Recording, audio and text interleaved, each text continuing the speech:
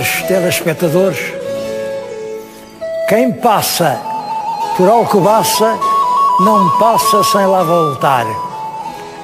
Eram versos de uma canção cantada pela artista Maria de Lourdes Rezende e que toda a gente trauteava ali pelos anos 50. E era verdade.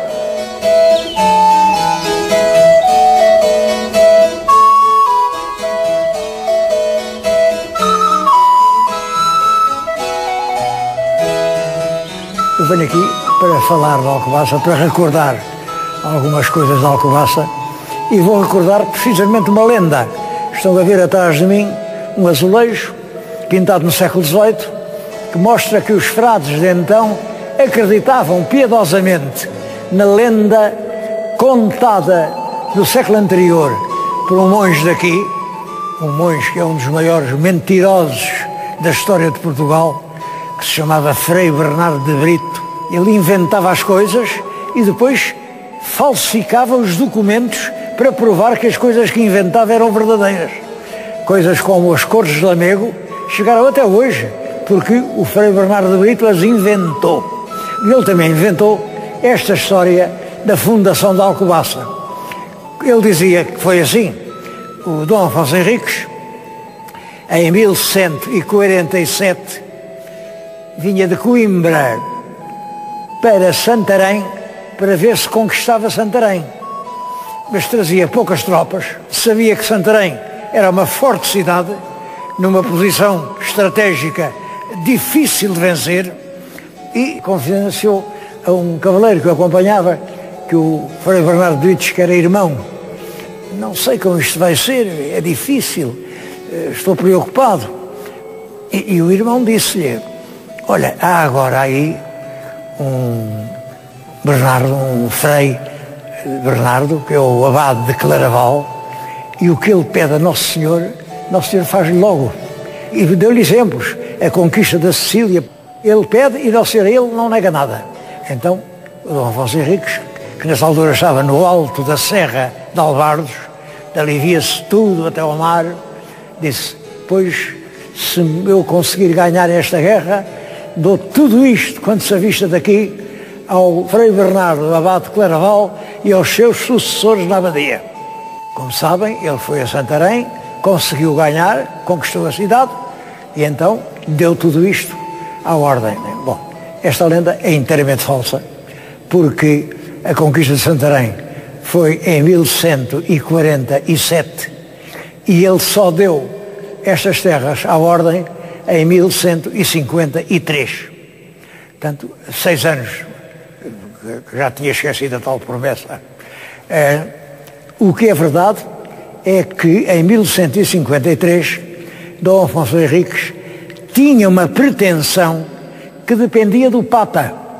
E quem tinha uma influência enorme sobre o Papa, pode-se dizer quem governava a Igreja era o Bernardo Abade Claraval. Bernardo era um homem de grandíssimo talento, um grande orador, um orador fulgurante, um homem de uma iniciativa, é um doutor da Igreja, é uma das maiores figuras da Idade Média, sem dúvida. E, portanto, se esse Frei Bernardo pedisse ao Papa que aceitasse o Dom Afonso Henriques como seu vassalo, isso era meio caminho andado para a independência, porque ninguém pode ser vassalo de dois senhores. Ele não podia ser vassalo do Papa e vassalo do Rei do Leão. Ora, ser vassalo do Papa era lá longe, não o incomodava muito. Agora, ser vassalo aqui do primo, do Rei do Leão, isso é que era não ser independente. Então, Afonso Henriques foi por esse caminho da vassalagem ao Papa e foi um dos percursos da política que ele seguiu para atingir a independência. E, portanto, a doação de 1153 provavelmente é esse o objetivo. Simplesmente, Frei Bernardo morreu no mesmo ano de 1153, com poucos meses de diferença. Portanto, o pedido provavelmente não chegou lá, ou se chegou, Frei Bernardo, que estava doente, não pôde fazer nada. Isso explica que, depois da doação, o Dom Afonso Henriques também não tenha feito nada. Passaram muitos anos, muitos anos, antes de ele iniciar a construção da abadia. Entre Leiria e Lisboa, as terras eram, enfim, terras de ninguém. Eram terras percorridas constantemente por cavalgadas, ora de cavaleiros cristãos, ora de cavaleiros mouros, que saqueavam as fazendas, roubavam os lavradores, matavam, incendiavam. E Dom Afonso Henriques, ao instalar precisamente entre Leiria, que tinha um castelo para se defender, e Óbidos, que tinha outro castelo para se defender, instala os monges de Alcobaça, a quem dá praticamente toda a terra que vai de Leiria até Óbidos. Essa razão de arroteamento e valorização económica do território é, creio eu, uma das que levam Dom Afonso Henriques a fundar a abadia de Alcobaça. Só 25 anos depois é que começam aqui as obras, mas obras que vão durar muito tempo, vão durar perto de 50 anos. Quer dizer, as obras aqui do mosteiro, pode-se dizer que duraram 600 anos, até ao século XIX. Mas, enfim, a Igreja, isto estava concluído em 1222. Mas reparem, começou em 1170 e tal. Dom Rodrigues não se deu grande, grande pressa em cumprir a doação do coto à ordem de Cister, porque o Frei Bernardo era da ordem de Cister. Cister foi onde o Frei Bernardo iniciou uma reforma da ordem de São Bento. A ordem de São Bento vem do século VI. São Bento ainda é um, um tardo-romano que naquela barafunda que foi o, o afundamento do Império, as invasões dos bárbaros, o tumulto do mundo, ele com alguns companheiros refugiou-se numa colina e fez uma comunidade onde podiam viver civilizadamente entre Roma e Nápoles. Ainda hoje lá está o convento. Mas isso é século VI.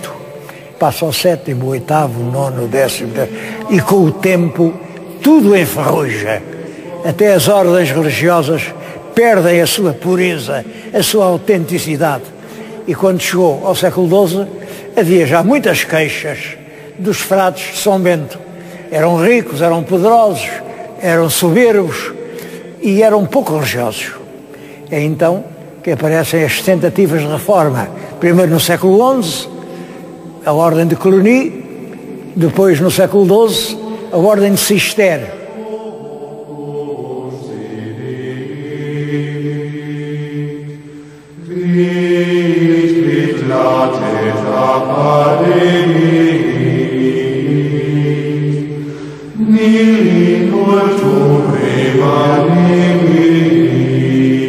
As abadias de Cister não aguentaram a força do tempo, caíram em ruínas.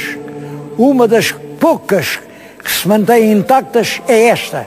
Isto é realmente um hino de religião, uma ânsia de espiritualidade. Este monumento é património da humanidade.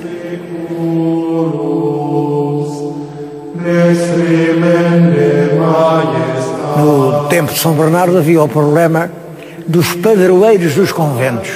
Estava-se em pleno feudalismo e os fidalgos, os grandes fidalgos, a título de protegerem os conventos, protegiam-os, mas ficavam-lhes com as rendas.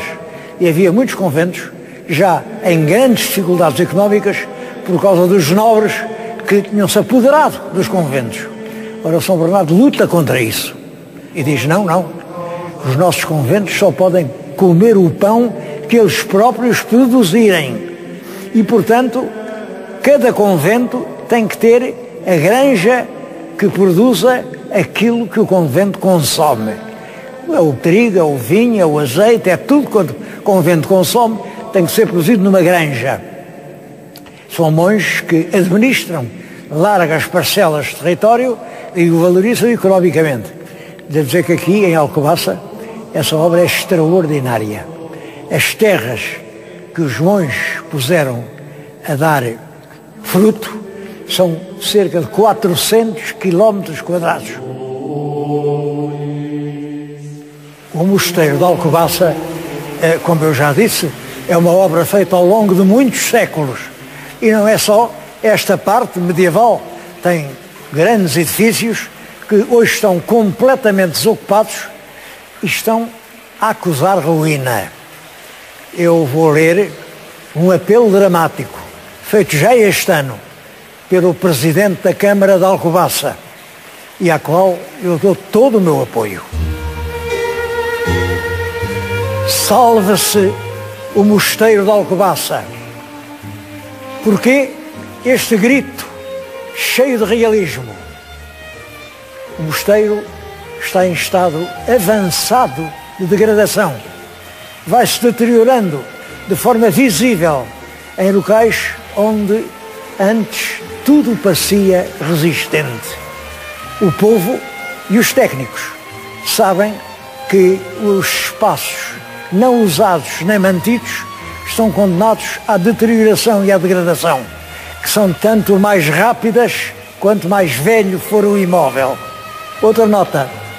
Digna de registro é a anarquia dos exteriores, zonas que não são partes integrantes do edifício do mosteiro e que estão em ruína, como o obelisco e o respectivo lago em estado de degradação, as fontes de cerâmica de uma beleza singular, todo o espaço à volta da capela do desterro, as áreas descobertas dos claustros dão sinais de ter passado por ali um vendaval.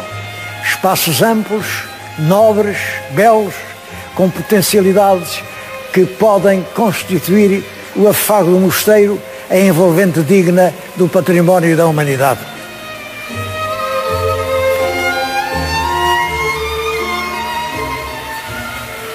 Penso que tem toda a razão. É, há sinais, sobretudo nos espaços envolventes, mas aqui dentro também, manchas, manchas de umidade negra, coisas que eh, desfeiam. E o facto de ser património da humanidade não nos absolve de nada. Pelo contrário, penso que aumenta muito a nossa responsabilidade.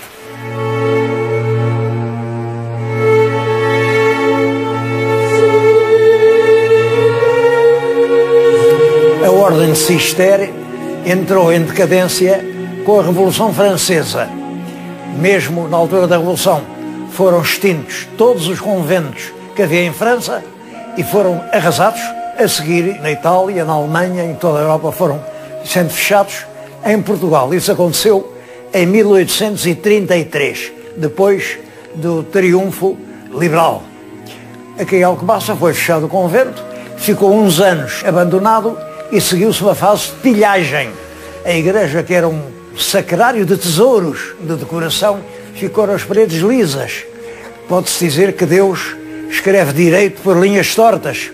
Era assim lisas que o Frei Bernardo de Claraval as queria. Mas com o tempo elas deixaram de corresponder ao pensamento do fundador. A única coisa que não levaram foi um grande caldeirão de cobre, porque era grande demais para ninguém meter no bolso. Aquele caldeirão foi apreendido a seguir à Batalha de Algebarrota nas bagagens do exército espanhol. É claro que a gente diz desapareceu tudo eh, quando Cister tinha feito. Isso não é verdade, porque houve coisas que enraizaram para sempre.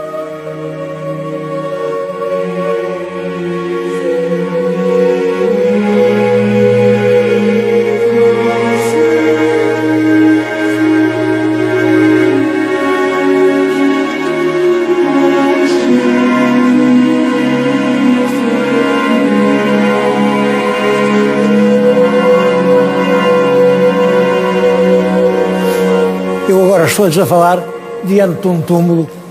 Não há certeza se é de Dom Afonso II, se Dom Afonso III, porque a inscrição, que está daquele lado, eh, foi deteriorada porque alguém violou a sepultura, provavelmente os franceses, porque antigamente as figuras reais eram enterradas com joias. E quando, na terceira invasão francesa, a invasão comandada pelo Marechal Macena, veio a Portugal, tentaram, como sabe, passar em Torres Vedras, mas desistiram perante as linhas de Torres e recuou para aqui. Então eles divertiram-se a arrebentar os túmulos para ver se em algum cadáver encontraria uma joia. E isso não nos permite hoje saber se é Dom Afonso II, se Dom Afonso III. São ambos dois grandes reis. Dom Afonso II é um homem que teve um reinado curto, 11 ou 12 anos, e tem uma obra enorme. As primeiras cortes, as cortes de Coimbra são dele, as primeiras leis gerais são dele, as leis de desamortização são dele, as leis de proteção ao trabalhador popular, ninguém seja obrigado a trabalhar contra a sua vontade, são dele, as confirmações são dele, a estrutura jurídica do Estado unitário é definida por ele. É espantoso como um rei que reina tão pouco tempo e que toda a vida sofreu uma doença horrorosa da qual morreu. Era leproso. Dom Afonso II, o gafo, gafo quer dizer leproso, e conseguiu fazer uma obra tão notável, tão notável. Dom Afonso III é também um grande rei, esse vem de França com ideias novas, é o rei que traz a monarquia gótica, é o rei que começa por chamar os representantes do povo às cortes, que tem uma obra colossal de fomento. Acho que não há terra portuguesa onde não se fala em Dom Afonso III, ou porque fundou, ou povoou, ou mandou povoar, ou deu foral, ou construiu o castelo, ou reconstruiu. Este país parece que saiu das mãos de Dom Afonso III. Depois, Dom Afonso III, o filho é Dom Dinis e não quis ficar aqui. Ficou em Odivelas. O neto, Dom Afonso IV, ficou na Capela Mor da sede de Lisboa, com a rainha. Mas depois vem Dom Pedro e Dom Pedro quis voltar aqui, com aquela que depois de morta foi rainha, com Inês. Recordo-me que há uns anos fui a Verona, na Itália, e quis visitar os túmulos do Romeu e Julieta. Estive quase uma hora numa fila e paguei uma quantia, não sei quanto, alta, eu e a minha mulher, para podermos ver o túmulo, não sei se era do Romeu se era da Julieta. Sei que era um túmulo que eram quatro pedras sem graça nenhuma. Pagámos, vimos, estes que têm uma história verdadeira, que têm túmulos dos mais notáveis que se fizeram durante toda a Idade Média. Não veio aqui ninguém para os ver. A diferença é que Pedro Inês é uma história verídica. Romeu e Julieta é uma história inventada por um escritor de gênio, Shakespeare. Vale mais ter um grande poeta que nos cante do que ter vivido uma paixão verdadeira.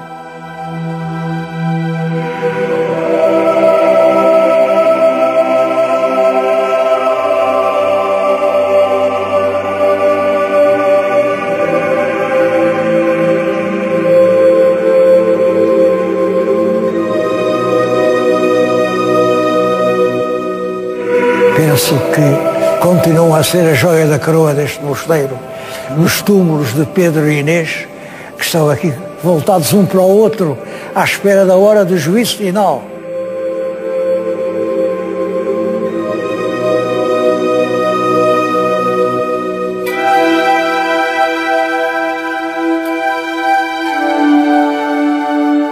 Quando chegar o fim do mundo, ouvem-se as trombetas a anunciar a ressurreição dos mortos e todas as almas sairão dos seus túmulos para prestar contas do que fizeram. Pedro, ao erguer-se do túmulo, verá na sua frente Inês.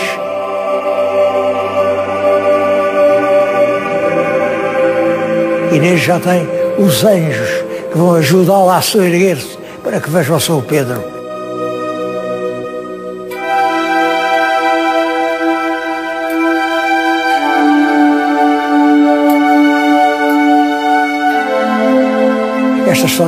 É de uma beleza extraordinária. É o amor mais forte que a morte. Infelizmente parece que está a esquecer.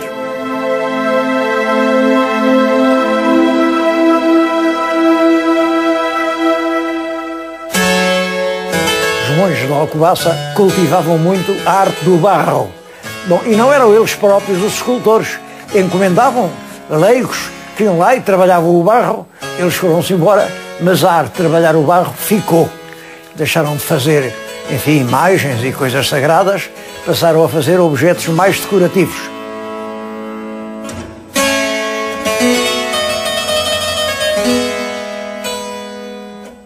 Este largo onde está o mosteiro era uma festa permanente.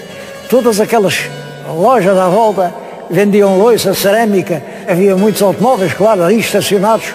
Agora o largo fica fora das linhas de trânsito, é preciso dar uma grande volta para chegar lá. Era uma festa, agora não é.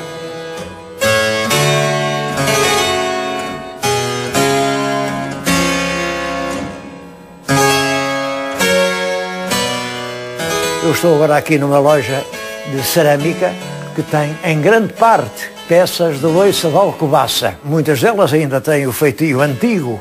Esta chaleira, por exemplo. Há aqui muita coisa, naturalmente, que a arte de cerâmica conheceu estádios novos. E hoje as fábricas de loiça de alcobaça fazem loiça de todo o género e exportam-no para todo o mundo.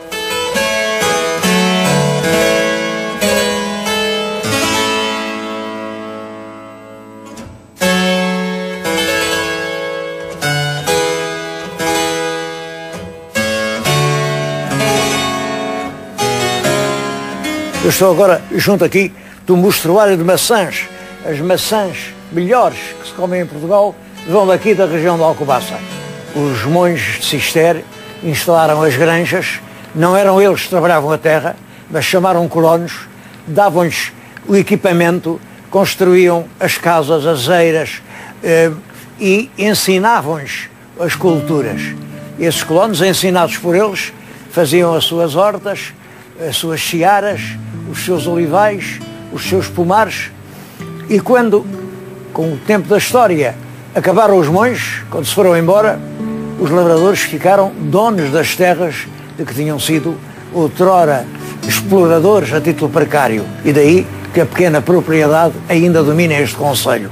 E aprenderam a fazer o que os monges durante séculos lhes ensinaram Ainda hoje, os pomares de Alcobaça criam imensa fruta, fruta que se exporta um pouco para todo o país. Estamos no tempo da maçã e as maçãs de Alcobaça são realmente muitíssimo boas. Penso que o turismo implica o mosteiro, a igreja, a religião, o São Bernardo, mas também implica estes bens imateriais que os frades nos legaram. Alcobaça é realmente uma terra culta. Antigamente dava-se mais por isso, mas este afeto, este ambiente moral que se respira nesta terra fez Maria Luz Rezende dizer quem passa por Alcobaça não passa sem cá voltar, continua a ser verdade. Eu, se Deus me der vida e saúde, hei de um dia voltar cá.